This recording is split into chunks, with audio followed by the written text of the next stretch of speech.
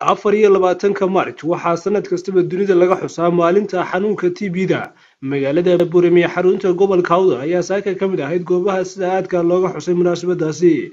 Waxaana ka soo qayb galay agaasimaha guud ee wasaaradda caafimaadka somalilan doctor xergeeye iyo suduwaha wasaaradda caafimaadka gobolka awdal doctor xoogsade. Mas'uuliyiin kale intaasi kadibna waxay mas'uuliyiintani u boqoleen daanta galbeed ee magaalada boorama halkaasoo laga dhagax dhigay cisbitaalka t b-da ee magaalada boorama kaasoo markii hore isagu ka tirsanaa cisbitaalka guud. Waxaana ay mas'uuliyiintani sheegeen in haddeeta uu culeyskaasi yaraan doono marka la raro cisbitaalka t b-da ee waqti xadirkani ku dhex yaalla cisbitaalka guud ee magaalada boorama. Mas'uuliyiintani oo hadalka iskaga kala dambeeyey ayaa waxay sheegeen dhulka ama bedka laga dhisi doono hosbitaalkan iyadoo laga eegayo mustaqbalka fog ee maxaa ku dhahday uu u shaqayn doono ummadda. Darteed dhulka la wareejinaya waxa weeye cabir dhan laba boqol iyo laba boqol maadaama magaalada boorma ay kordhayso hosbitaalkii weynaana culays badan oo hosbitaaladii kale ee mataqaanaaye hosbitaalladoo dhan kuwada dhex shaqaynayeen awgeed waxaa la gartay sidii mataqaanaa dhul loogu heli lahaa loona dhisi lahaa hosbitaalka t b-da. Waxaanu ka guddoomaynaa maanta halkan dhulka ay nagu wareejiyeen wasaaradda howlaha guud iyo guddoomiyaha gobolka awdal. Waanu ka guddoonnay. Insha alla waxaanu rajeynana nolka wasaarad ahaana inaanu doorkayga qaadanno oo aanu saanu la wareegnay.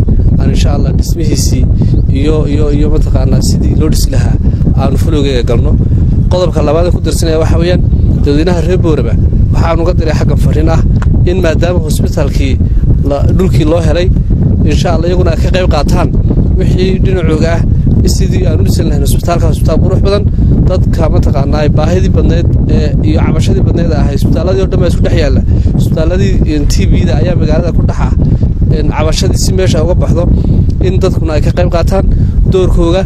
Gobol ahaan dad iyo iyo iyo xukuumadba waannu ku dadaalaynaa inaannu ka geysanno gacan wax ku-oolah waxaan ku amrayaa howlaha guud suduwahooda iyo dowladda hooseba inay sida ugu dhaqso badan sharciga faylka meesha u soo sameeyaan uguna wareejiyaan suduwaha gobolka ciidanka buliisku shaqadiisa uu qabsan yaqaana isagu mas'uuliyadda meesha isagaa ka mas'uula ilaalinteeda iyo ka howlgelkeeda labadaba.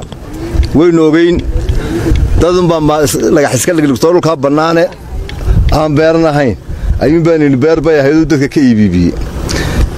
Ilaa tariskiisa waannu isla nimi meesha waa lagala wareegay sheekadeedu way dhammaatay. Dhagaxan yaalyaallana dowladda hoose shaqadeeda ha qabsato ha kaleergalayso meeshaa wasalaamu calaykum laga bilaabo saacadda. Waxaan ku wareejinayaa dhulkaas agaasimaha guud ee wasaaradda horumarta caafimaadka isuduwaha gobolka awdal maamulaha cusbitaalka t b-da intiinaba waxaanu leenahay naga guddooma dhulkaas.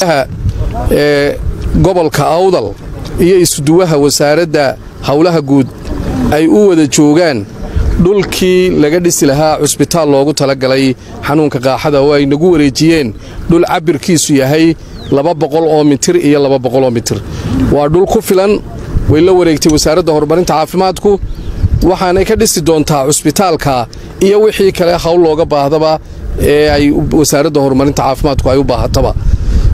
Runtii miisaaniyadda qaranka waxaa ugu jira cusbitaalka t b-da ee boorama qadar lacag ah qadarkaasoo lagu bilaabi doono wixii ay ka gaadho hore loogu dhisi doono meesha aynu maanta astaynay wixii kalena waxaan baaq u dirayaa inuu gobolka iyo degmada iyo guud ahaanba dadweynaha ree awdal ay ka qayb qaataan sidii uu cusbitaal qurux badan oo wanaagsan oo ballaadhan oo lagu daaweeyo xanuunka t b-du uga dhismi lahaa dhulka ballaadhan ee layna siiyey. Guddoomiye waannu kaala wareegnay. Axmed dacad goobjoog t v borama